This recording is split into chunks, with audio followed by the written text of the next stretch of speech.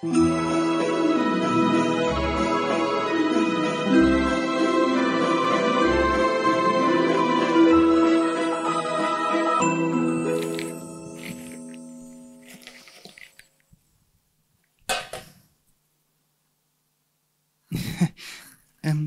ja, äh, herzlich willkommen zum Türchen Nummer 19, 18, 17, ich weiß nicht, vor lauter Süßigkeiten weiß ich gar nicht mehr, welcher Tag heute ist.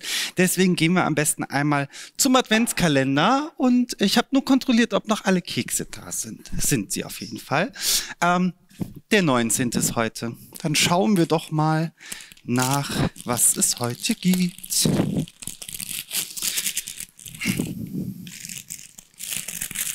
Oh, ein Zettelchen. 19. Dezember. Ein mögliches Dessert.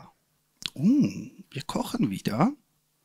Oh, ich liebe es. Gebrannte Mandeln.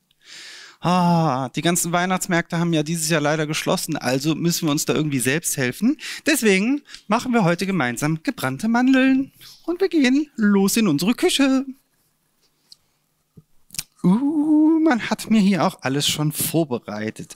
Dann schauen wir uns doch mal gemeinsam kurz das Rezept an.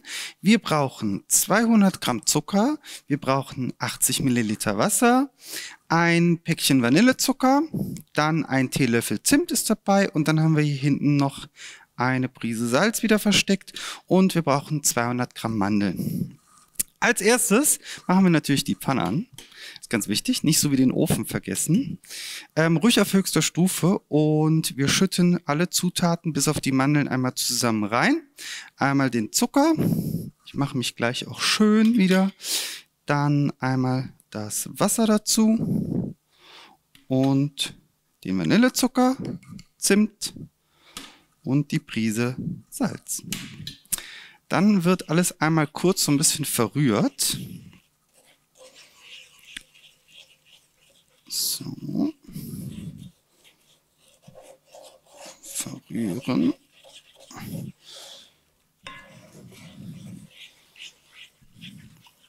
Es duftet auf jeden Fall schon nach Weihnachtsmarkt.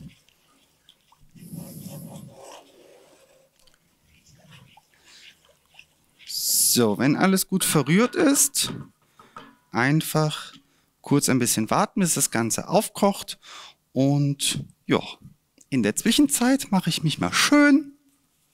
Hab wieder meine Schürze mit dabei. Meine Öhrchen raus.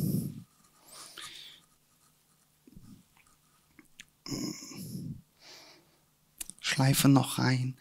Ähm, was isst ihr denn immer so auf dem Weihnachtsmarkt? Also seid ihr eher so die Fraktion gebrannte Mandeln oder die Fraktion äh, Schokofrüchte?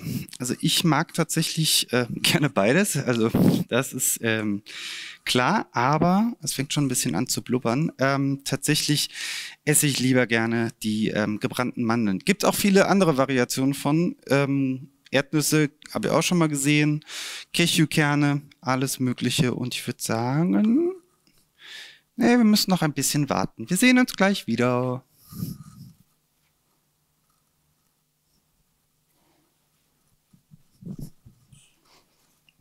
Es fängt an. Okay. okay, es fängt jetzt langsam an, hier ein bisschen zu brodeln müssen es wirklich einmal aufkochen lassen. Ruhig auf höchster Stufe. Und einmal leicht umrühren, weil unser Topf ist leider ein bisschen größer als die Herdplatte. Und wenn das Ganze blubbert, können wir auch schon ähm, die Mandeln dazugeben und alles kräftig verrühren. Genau. Ab jetzt heißt es eigentlich die ganze Zeit rühren, rühren, rühren. Wir rühren uns zu Tode. Nein, Quatsch. Ähm, ja, ich rühre. Wir warten jetzt eigentlich nur darauf, dass das Wasser so ein bisschen verdampft und die Masse etwas zähflüssiger wird. In der Zwischenzeit mache ich jetzt hier Multitasking in der Hoffnung, dass ich nichts kaputt mache und breite mir schon mal mein Backpapier aus. Wunderbar. Und rühre weiter.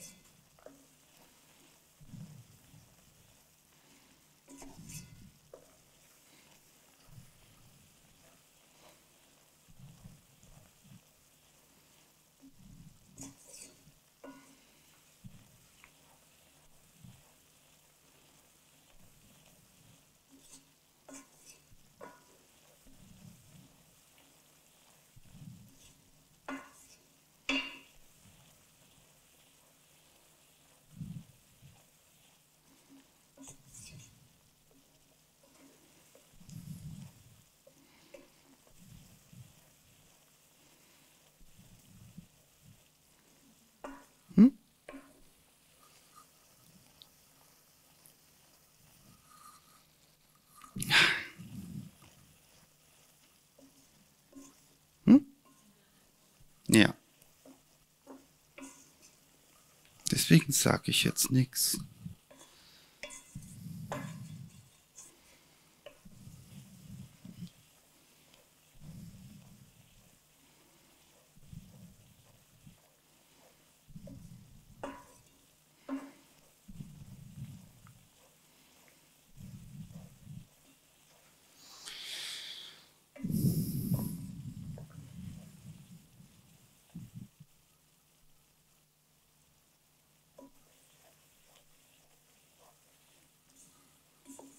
Eine Ewigkeit später. Ich kann auch hier so. In der Hoffnung, dass man das Blubbern hört. Ja, jetzt müsste es gleich langsam weitergehen.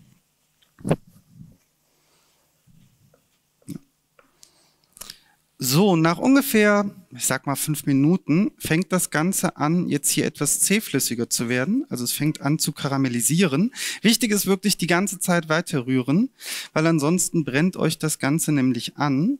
Und wir warten jetzt auf den Moment, wo die Mandeln ein bisschen bröseliger werden. Ich habe schon Rührarm. Nimm mal links. Fühlt sich komisch an. Ja, jetzt müssen wir gleich aufpassen.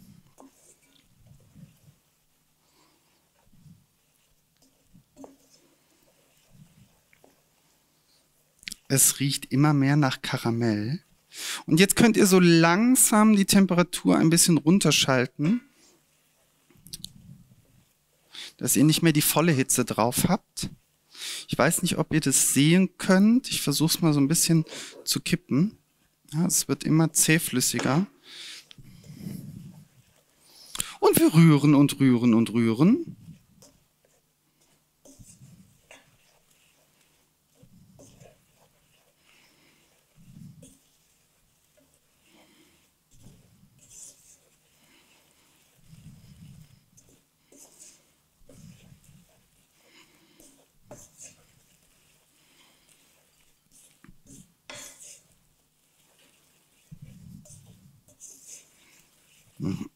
Ja, jetzt ist es langsam soweit. Es wird bröselig.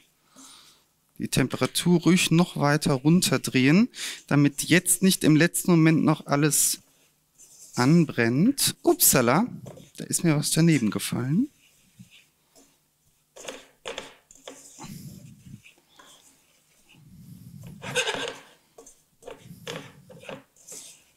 Und dann kippen wir das Ganze auf unser Backblech.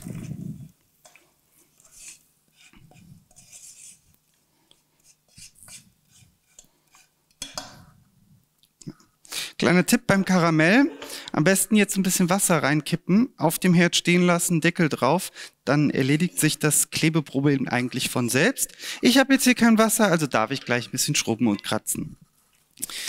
Wenn wir das Ganze hier auf unserem Backblech haben, können wir es mit den mit zwei Gabeln oder mit einem Messer oder was auch immer oder Löffel bisschen verteilen und ganz, ganz, ganz, ganz, ganz, ganz wichtig bei Karamell abkühlen lassen. Es ist extremst heiß. Ich spreche da aus Erfahrung. Denn ich bin auch heiß. Ähm, nein. So, die zwei auch noch mit dazu. Und dann würde ich sagen, guten Appetit.